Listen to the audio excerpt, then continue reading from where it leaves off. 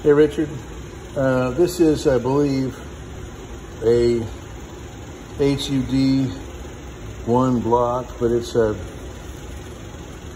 the black side's a little stiffer than the gray.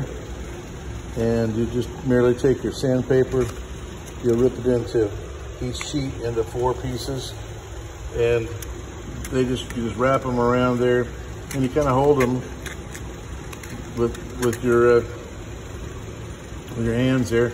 Get you a bucket of water and uh, and then just start sanding, uh, wet sanding.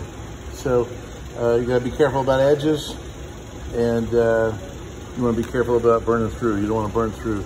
If you do that, we'll have to send you a little concoction of stain and uh, stain and uh, sealer that you would actually we'll just send you some stain probably.